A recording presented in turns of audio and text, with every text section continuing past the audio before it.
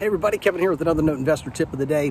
This one's on wholesaling notes. A lot of people are familiar with wholesaling properties. That's where you go out, you find a property, you get it under contract on some kind of an agreement, and then you turn around and assign that agreement to somebody else in exchange for a fee. Well, guess what? You can do the same thing in the note business. In fact, in the note business, your inventory can be nationwide versus most people who wholesale real estate are doing it on a very localized basis and looking for particular deals that fit an investor's needs. So in wholesaling a note, it really works the same way. Find the note, get it under contract, and then start to offer that. And today you have a lot of other ways that you can offer that. There's trading platforms that you can post on. Uh, there's building up a database. A lot of my clients, I'll, I'll share their deals with uh, other of my clients, and we do transactions in-house, if you will and it comes down to also the closing. So the key ingredients are all the same that they are with the with the real estate uh, wholesaling, which is find the deal, make sure you have people to flip it to, and make sure you paper everything up.